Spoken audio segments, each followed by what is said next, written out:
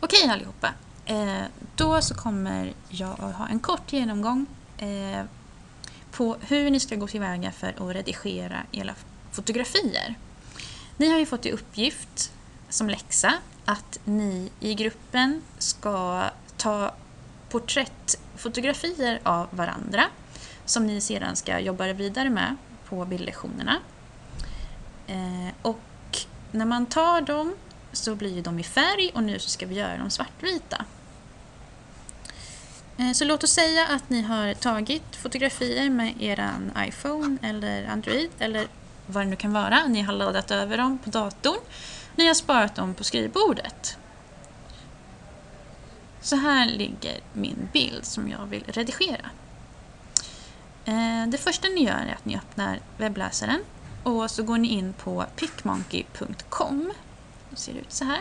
Ni klickar på den här, Edit a photo. Sen väljer ni vilken ni vill redigera. Där har jag min bild. Då kommer den upp här. Eh, det kan hända eh, att ni behöver eh, rotera era bilder. Då går ni in på Rotate och så klickar ni bara tills bilden hamnar på rätt. Viktigt är att ni alltid trycker på den här gröna knappen där det står Apply. Då sparar ni ändringarna som ni har gjort. Annars så försvinner de, det är ju tråkigt. Så, när man har gjort det eh, så är det dags att gå hit. Effekt står det där. Här finns det en massa olika. Den ni ska använda är Black and White. Då ser ni att bilden blir svartvit och så klickar ni på Apply. Eh, sen så, när man gör så här så blir bilden ofta ganska lite grådaskig sådär. Så nu ska vi gå tillbaka hit upp till Basic Effects. Så går vi in på Exposure för att vi ska ställa i ordning så det blir en riktigt schysst kontrast i den här bilden. Och med kontrast så betyder det hur mycket grått i förhållande till vitt och svart.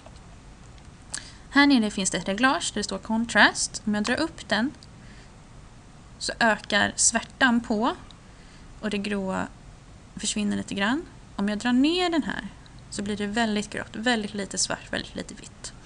Så vi vill vara i den här änden. Så använder man de här reglagen för att få en bra bild.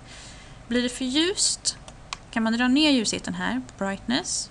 Blir det för mörk kan man dra upp den. Så jobbar man med de här reglagen tills man hittar en bra bild där allting syns på ett bra sätt men med bra kontrast. Ehm, så när jag är nöjd med min bild så klickar jag på Apply.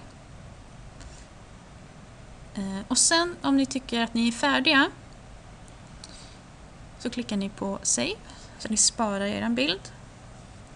Se till att den heter rätt så att min bild heter ju Malin och sen 9A för där är jag klassföreståndare. Glöm inte klassen för ibland kan det bli lite förvirrat om det är fler som heter samma i olika klasser. Eh, klicka på spara. Skrivbord. Eller vart ni vill ha den, bara ni vet vart den är. Jag vill inte ersätta den för jag kanske vill ha originalet kvar. Eh, så då kan man skriva Malin 9A 01.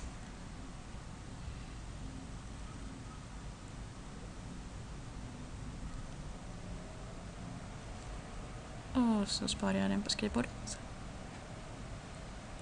Masterpiece saved. Sen hörni, för att jag ska kunna skriva ut era bilder åt er så ni kan börja jobba så behöver ni gå hit. Ni går in på dropbox.com. Då ser det ut så här. Sen går ni upp till den här, det står sign in, logga in. Sen så skriver ni in min mailadress, inte er egen utan min mailadress. Och sen så skriver ni in lösenord bildsalen. Så kommer det upp en sida med massa olika mappar.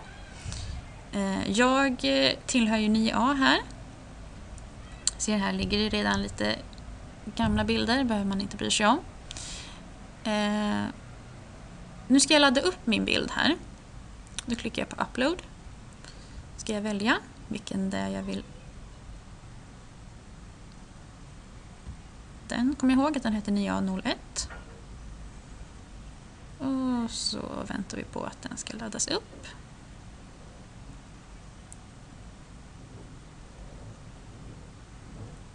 Så, klicka på Done. Och sen kan jag bara klicka på den här. Och se att den ligger här.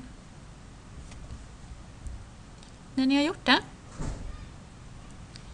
Jo förresten, om ni råkar lägga upp fel bild eh, så är det ingen fara. Då har ni här Delete. Are you sure? Jajamän, det är jag. Originalet kanske jag också vill ta bort. Det behöver inte ligga där.